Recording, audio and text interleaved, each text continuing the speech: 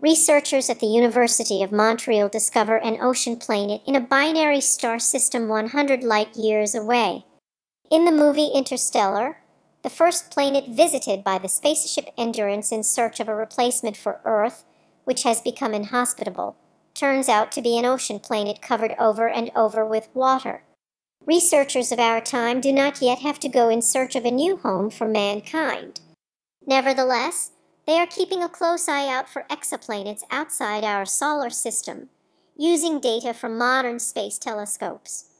A team of researchers from the University of Montreal, Canada has now discovered a celestial body 100 light years away that could be very close to the fictional ocean planet from Interstellar.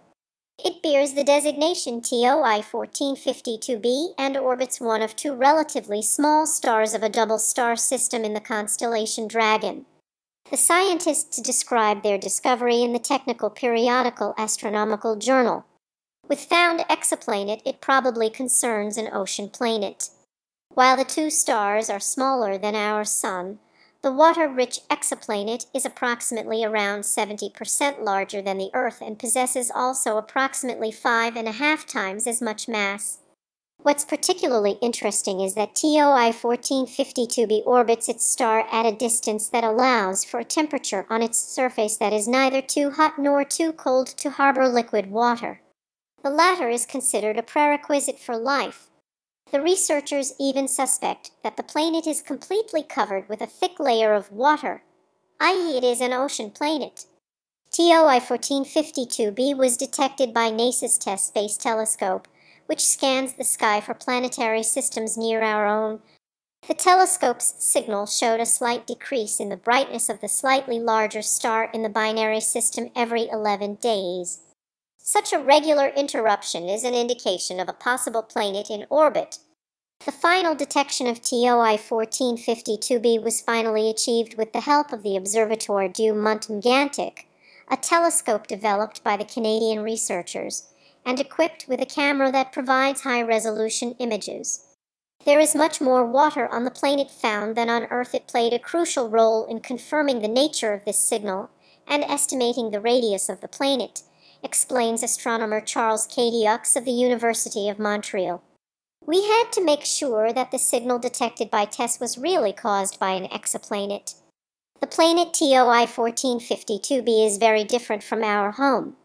Even though Earth is often called the blue planet because about 70% of its surface is ocean, it is essentially a very dry planet, according to a University of Montreal statement. In fact, water makes up only a negligible fraction of the mass less than 1%.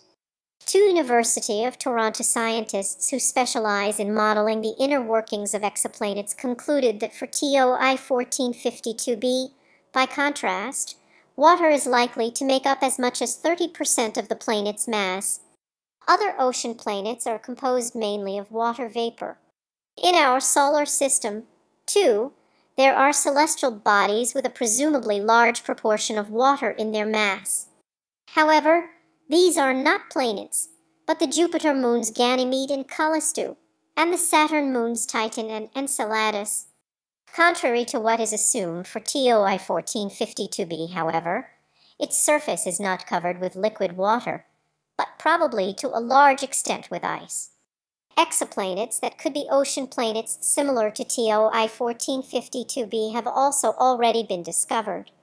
These include planet GJ1214b, tracked it down by the Hubble telescope in 2012, which orbits a red dwarf star 40 light years from Earth and likely has only a small rocky core and a lot of water. Observations indicated that its atmosphere is likely to be composed mostly of water vapor. Ocean planets are also suspected in the star system Kepler-62, 1200 light years away. Liquid water does not guarantee the possibility of life on a planet. Even if liquid water is considered a prerequisite for life, this does not automatically mean that planets that harbor an abundance of it are life-friendly places. In fact, a study published in 2016 by researchers from Belgium, Germany, Austria, and France suggests that too much water may actually be more of a hindrance to the emergence of life. If too much water covers the planet, the pressure at the bottom of the ocean rises sharply. As a result, high pressure ice forms, which has a particularly dense crystal form and is deposited on the ocean floor. However, this turns it into a barrier and thus separates the ocean floor from the atmosphere, so that exchange is no longer possible. For life to develop, however, both minerals from the bottom of the oceans and organic matter from the atmosphere are needed.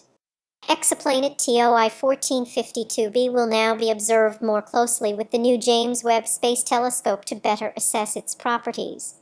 As soon as we can, says Ren Doyon, director of the Observatoire du Mont Mégantic at the University of Montreal, we will book time on Webb to observe this strange and wonderful world